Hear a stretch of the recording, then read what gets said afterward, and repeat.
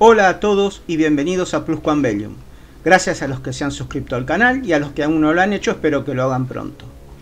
Hoy les traigo imágenes tomadas por el dron MQ-9 de la Fuerza Aérea de Estados Unidos, en el momento de la colisión con el Su-27 ruso, hecho ocurrido el 14 de marzo de 2023.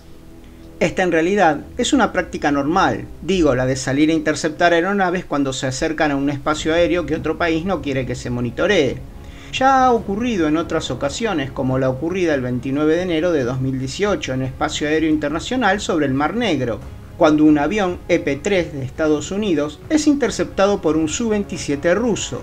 Se determinó que esta interceptación no era segura debido a que el Su-27 se acercó a menos de un metro y medio de distancia y cruzó directamente la ruta de vuelo del EP-3.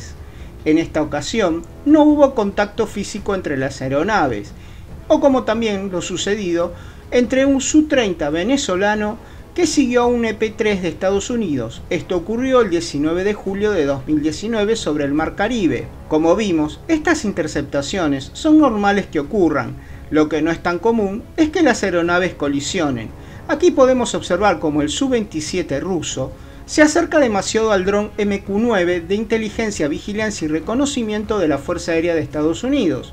Esto ocurrió en Espacio Aéreo Internacional sobre el Mar Negro, el 14 de marzo de 2023, como ya les había mencionado. Aparentemente el Su-27 golpea la hélice del dron. Este finalmente cae en aguas internacionales. Este video desclasificado ha sido editado en su extensión, sin embargo los eventos se muestran en orden secuencial, si estos hechos son negligencia del piloto o por órdenes recibidas, se los dejo a su consideración. Gracias por haberme acompañado, si les gustó el video denle un like y nos vemos en el próximo.